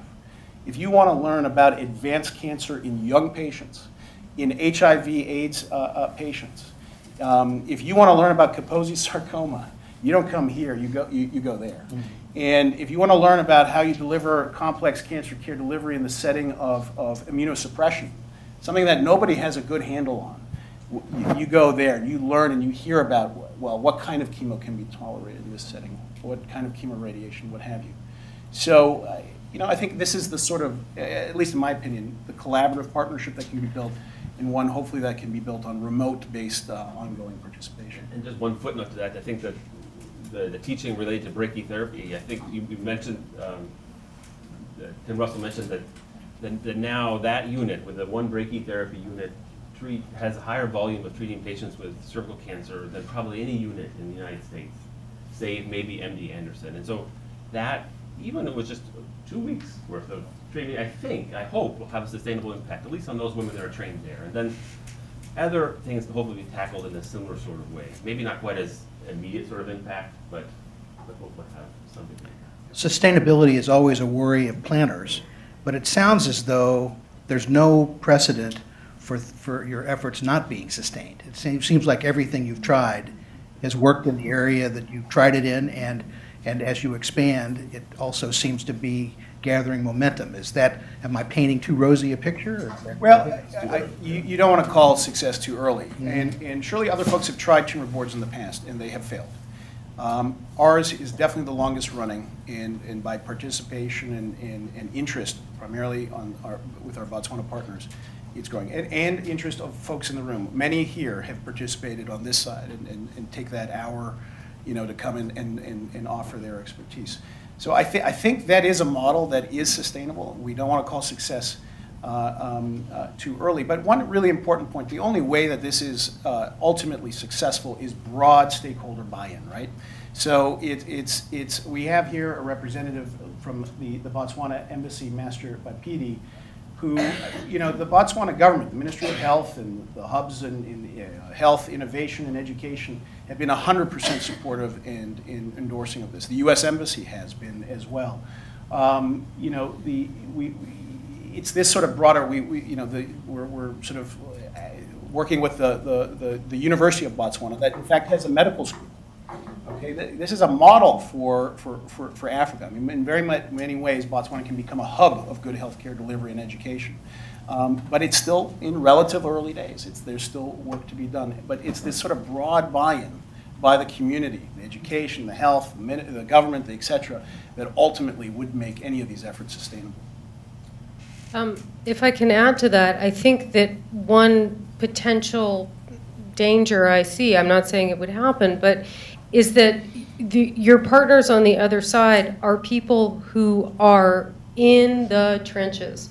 And they work really hard, day in, day out, emptying the ocean with a spoon in an institution that, like all big institutions, has its dysfunctions, where machines break, where things go in and out of stock, where they have a very high volume of patients to deal with. So they don't have the luxury of interacting with the patients in the way that they would like, which is uh, degrading to them, where they run a lot of night call, where medical officers are uh, not wealthy people, nurses are not uh, wealthy people. They have relatives who are also patients in the same hospital. They feel a lot of pressure in their um, social network to care for those patients as well as um, the patients that they're taking care of. This is to just say you're talking about people who have lived through concurrent epidemics that are very pressing. They're working very hard. Um, and sometimes I think for them to feel like there's another thing that they're now expected to do for the same money, more time is being asked of them while they're on the tumor board with you. The line of patients is not shrinking. The number of drugs they need to track down is not suddenly appearing. So, somewhere within that process of I recognize that you are offering them something that they need and want, we also need to acknowledge that it's giving them yet another task. And these are people who have a lot of tasks. And it's that, that's their challenge. Their challenge is to remain committed in something that over time it's easy to uh, become a bureaucrat. Uh, you know, no offense to bureaucrats, but you know, to to become a little uh, disengaged around in order to survive in that. Um, so somewhere within there, I think we need to think about the conditions under which the partners on the other side are working, not the specialists, but the people below them who are the vast majority of labor. Um, and for them, they face these glass ceilings. It's difficult for them. They can remain a medical officer or a resident for the rest of their life. They can remain a staff nurse, not able to jump to the next level. So they, they, you all can move your career forward and can, in your head, sometimes rely on that at the end of a long day. Well, I did something for my career today, even though something bad happened to the patient or whatever. They don't get that necessarily. So I think we need to uh, think about that a little bit. Yeah, and I, I would agree with that, having worked in that system. It's, it's very difficult sometimes to step back and see the bigger picture of things because you're just so busy trying to stay afloat. Um, uh, things don't work the way they should, you know, ordering simple lab tests, sometimes you don't get the results back, and it's very difficult to provide the care that you want to provide for your patients and still stay sane at the same time uh, just because the system uh, still has a lot of work to, to make it work cohesively. So I, I, I totally agree with that, and I've, I've experienced it. It's, it's, it's very difficult to, to just on a daily basis feel like you're making a difference in your patients' lives. And And I think that that leads to the other principal threat in my mind to sustainability is frequent rotation of staff. That um, frequently, you know, I, I worked in the HIV treatment clinic, and you would you would train a nurse to do a very good job of administering drugs, and then she would all of a sudden become the matron and have a bureaucratic job instead of a, patient job. Or um, just a few months ago, all three medical officers on the oncology ward were en masse transferred outside of the oncology ward. These people had been there for three years. They were practicing as oncologists would in this country, and all of a sudden they were all gone. And so all the capacity that was built with them also goes. And and and and, and that people also leave because of burnout. And Botswana currently still has to rely on predominantly expatriate physicians.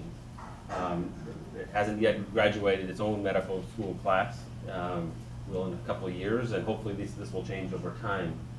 But if people are, are coming there to, to work for a while, they can also leave, and, and, they, and they do. And so then they that capacity that you built, all, all the oncologists that we work with are originally from Zimbabwe. And I think if Zimbabwe improved, they would probably go back too. And so, so, so that is also a threat to sustainability over the long term. So it sounds as though uh, assessing the impact of a program like this is going to be very complex. In the first place, you don't have all the epidemiology you need to know whether or not you're impacting survival. It sounds as though a component of the program is going to have to be recruitment of, of staff and their training and assessing periodically their level of happiness and satisfaction and doing what you can to improve that. So what, what do you see as the problems of, of assessing the, the success of, uh, of whatever program you create here? I, I think that the program that we create is a, is a rather small thing in the, in the whole scheme of things. So hopefully, it's a catalyst to other things that will be developed by the government, by the people, that will be much larger than anything that we're able to accomplish. Um, and we are there mostly listening and trying to provide the assistance that is asked of us by the Ministry of Health and other people. Um, Botswana does have good systems in place to monitor the usual things we want to monitor, which is the incidence of cancer. There is a national cancer registry. The, the Ministry of Health of Botswana is probably the size of the White Building here. It's a, it's a big place. Um, one little office in that is dedicated to cancer. Um, and they maintain a cancer uh, registry that is the only nationally representative cancer registry on the continent, um, and it's quite complete. Um, and so we, we will be able to track cancer incidents going forward. Who made the decision to transfer the oncologists away? And, and is there any way to influence those decisions? Yeah, there is. We, we screened. Yeah. We screened. A lot, we got a lot of other people to screen, and they came back. Oh, that's a good, you didn't tell us that part. But it is also part of the way the health system there runs, that people work on a rotation of approximately two years in a position and then they're rotated to another position. And one of the reasons that the uh, various domains of the civil service, including medical care, operate that way in Botswana is it helps prevent corruption. So I, I mean, I'm not suggesting, so send the oncologist away. I don't mean that, but I mean to say, uh, whenever there's a decision in Botswana that you think to yourself, why do that? That doesn't make any sense. It also, it's worth stopping for a minute and saying, why do you do that? You don't do that just because you feel like doing do-si-do with the people. Why on earth was the HIV nurse now a scrub nurse? That doesn't make any sense. And on the one hand, it doesn't make any sense. And maybe the case needs to be made to the Ministry of Health that that, that the time for this is, is over within the health system. But the concerns that they have, that people don't sell drugs out of the back door. Yeah, it's or- just going on until seven, and then I'm gonna shut it down, and then. I think we're under threat. Well, let me, uh, I think that this has been very interesting and stimulating. I'm not trying to close this down. I'm I'm leading to the next question. Okay. The next question is that I think this has been so interesting and stimulating that a lot of people in the audience who haven't thought about it before might be interested in participating. What does somebody sitting in the audience who wants to make a difference do to try to help participate in this program and make a difference? So that, that- that's a, that's a, that's a great question. And, and I think, uh, you know, we have Ami and Franklin here, oops, sorry, uh, who have sort of spearheaded getting the, the, um, the, the the sort of the Harvard community together uh, with, who have interests in global oncology. uh, And, and they should be um, uh, acknowledged for that. And, and what you see here is also a number of students at Harvard Medical School who have actually opened their own wing of the Global Oncology Interest Group getting involved. And, and I think more and more this interest is growing. So we have to think about how we're going to sustain that and how do we engage this level of interest. And, and um, you know, if there are folks who are interested, there are easy ways. Come to our tumor board, come to other, uh, you know, go-related activities, those sorts of things, and see what, what actually captures your interest. We have to think about, uh, is there a way we can develop a training program in oncology that supports careers interested in delivery of global oncology? The ID folks have this, uh, we don't really. And so I know, you know, Bruce, uh, Larry Shulman and others are working, you know, hard kind of at- the leadership level to see if this can happen within uh, uh, hematology, oncology, and, and, uh, and, and et cetera. Uh, We have here uh, uh, folks like Jay, Jay, who, you know, none of what the work we've done anyway in Botswana would, wouldn't be true if it weren't weren't for his support, specific support in this. So again, at the leadership level, there is um, su- support of junior folks who have an interest in this being able to do that. And I think we need to just kind of um, acknowledge that and, and, and nurture that. Uh, and then find places. Not everybody can go and live in, in, in an African country for a year, or, or even, even less than that. But there are other ways that you can have an impact. So, uh, you know, I guess we would encourage you to, to come to the events that are being organized, come to talks like this, and, and then, and then start talking with the folks who are actually doing it and, and, and get involved. The major successful efforts at um, reducing risk factors in the United States have mainly been policy things, you know, making it hard for tobacco companies to sell their, pro- their products. We're, we're down to something like 13 or 14 percent as a smoking rate. But I saw a statistic that said something like 80 percent of the world's smokers live in middle and low-income countries. I don't see how we're going to make an impact on that without government support from I, I think this is such a huge issue, and it, it comes back to how do you retain the good folks? Right? And, and, you know, a lot of, like, you know, like, like Scott said, the, the two, the two clinical oncologists we work with most, um, they're clinical oncologists who trained in the UK model of both chemo and radiation, but they're from Zimbabwe. And, you know, there, there hasn't been a, uh, a graduate yet of the, the, the medical school, and there are the, the retainment issues. The government, in, you know, in our opinion, has to incentivize a, training, you know, developing the educational uh, framework, but then the retainment of those who are trained, whether trained in the country or out of the country, coming back, um, and, and, and rewarding them for the, the excellent care that they deliver and for pushing the boundaries forward. And, and you know, what are those incentives? I don't know. Uh, and, but it is an important issue. As Scott, you, you mentioned, uh, there was kicking and screaming going on when these three phenomenal House officers who delivered over 90% of the oncology care at Princess Marina Hospital threatened to leave. They were leaving. And there was a lot of kicking and screaming and, and, and, and uh, outreach efforts by Scott and others to, uh, to the government uh, saying, you got to retain these good people. And, and ultimately that worked. But in, ultimately the government needs to figure out how to retain these people um, and, and, and build that local capacity and, and, and, and grow it. And I, I don't think there's an easy answer to that, but I, you know.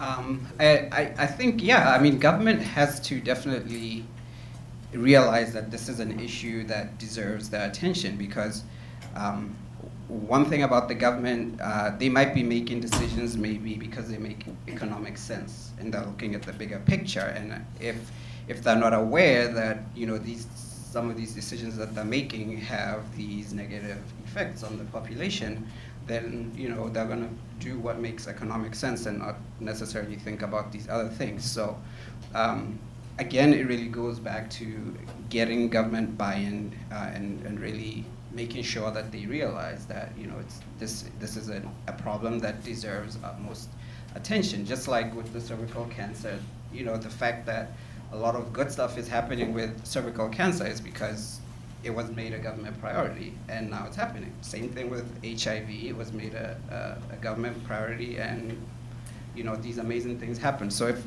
if we can't do that, then I think in the setting of Botswana, you, you won't get very far. And the governments need to understand this is money well spent, and there is money there. Um, the the uh, you know, and there's much very much an acknowledgement that 75% of cancer deaths are going to happen in these countries.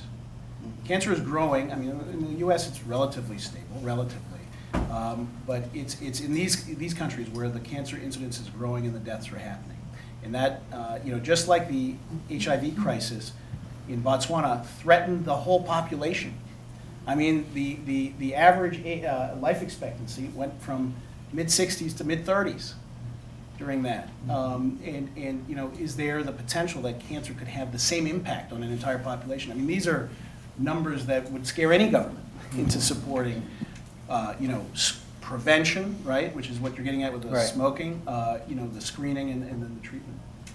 In some ways, that there's there's more low-hanging fruit in terms of prevention. Um, in Botswana because smoking is increasing, unfortunately, and that is a big challenge and will have to be dealt with. the cancers that arise from that will be a few decades off. But um, HPV-related cancers account for 30, 40% of all the cancers in Botswana. Um, so vaccination, while perhaps not perfect for the serotypes that are, that are currently present, um, would have a big impact. Earlier treatments for HIV would have a big impact a lot of things can have a big impact. Two thirds of, of, of cancers in Botswana arise in HIV-infected individuals. So figuring how to prevent cancers in those individuals would move a long way. I think I also heard your question is what, what can people in the room do in terms, terms of, of, of um, trying to help uh, in this regard. And I think that there's roles for all sorts of different people to, to help in this process. Um, the, since Dr. Palevsky left and went back to Zimbabwe, the cancer ward has, has not run the same. Um, so there's urgent need for someone who's an oncologist who, who go live there permanently and, and, and provide care. Um, the, the system is quite complicated of how you obtain therapy with a lot of a lot of emphasis place for how the distance people travel and then to get chemotherapy and then to get the radiation therapy and to get the proper paperwork in order to qualify for radiation therapy. And there's a lot of need for for shepherding and, and guidance through that process. Even people who don't have medical training can help with that and partnering with the Cancer Association of Botswana and other agencies that are doing those sorts of things. There's lots of things that people can do concretely, regardless of level of training or expertise. Do we have time to take a question or two from the audience? A question or two. A question or two. Anybody in the audience have a question? Go ahead. So I would say, yeah, so my wife's in Rwanda working there, trying to figure out very much the same kinds of things you've been talking about. And one of the things that became fairly obvious to me quickly because there they're in the gastric cancer belt And so that in fact, esophageal gastric cancer is, um, at least as far as the uh, Rwandan tumor registry could determine, the most common cancer, followed by uh, breast cancer. And so a good way of delivering sort of continuous infusion 5-FU is important to them. And there's a very simple solution, which is oral capecitabine. You know, it's a, or S1 if you wanted to get it from Japan, but it's so extraordinarily expensive. And so one of the things that just like happened with the AIDS epidemic is engaging the pharmaceutical industry to try to really figure out how to do this right. Because the solution is there, it's simple, but we can't do it because it's so costly. Mm-hmm. So I don't know if you have any thoughts on, on that. Very important point. There, there is a, uh, an organization called the CEI CEO Round- Roundtable on Cancer, which I belong to. I'm not a CEO, but they've asked me to help. And, and at the last meeting, I brought up this issue, and surprisingly got a very positive response, like, we didn't know you needed it. Their impression is that the cheap drugs are coming from India, and there's no need for other drugs from, from Europe and the United States. I think they'd be very interested for the good public relations that's involved, and there's some people actually that are, that care about this and, and see the, the ethical side of this uh, issue. So I, I think that we can engage them and we can get it. What we need are trained personnel over in, uh, in uh, Botswana to, uh, to administer the drugs and develop uh, reasonable re- regimens. One last question from the audience? Go ahead. My name is John Popovich. I'm a third-year medical student at the University of Minnesota. And I wanted to thank you all for uh, doing this work. I think it's fascinating. Uh, One thing I'm interested in is going back to Minnesota and seeing if I can try to get a group out there involved in assisting with this work. So I'm, I'm not in the Harvard community, obviously, but uh, if Dr. Bat or Dr. Huang have any recommendations for how we could do that, um, there's a lot of eager students out there that would be willing to help. All right, I want to thank the panel for stimulating discussion, very informative for all of us. And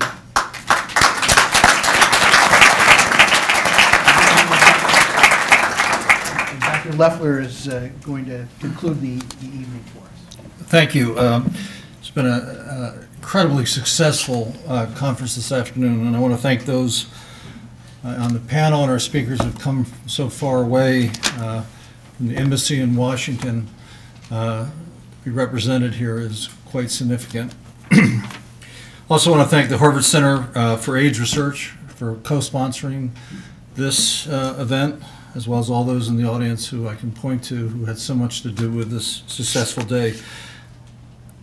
This session maybe reflect back 10 years ago when the senior leadership of this hospital was sequestered at Harvard Business School for three days and two nights.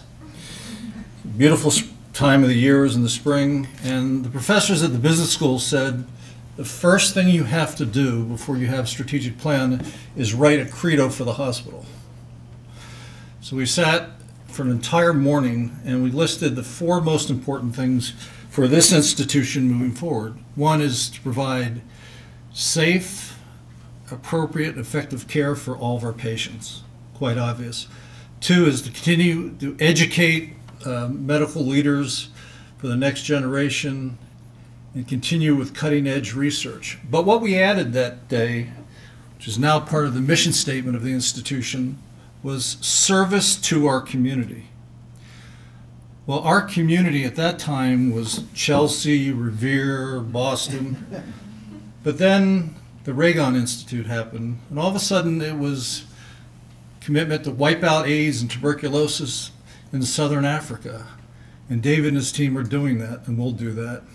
And then it was Mr. Lunder who gave us a beautiful gift for the Lunder building who said, that's not enough. We need help in mid Maine, northern Maine. So now that's our community. And then it was to help the Japanese, the people of Indonesia from the tsunami events. And so this institution in particular, our community has changed dramatically in 10 years. I think what you heard today represents that so well. And thank you all. The reception, as you know, uh, is following in the uh, Paul Russell uh, Museum. Thanks and have a good night.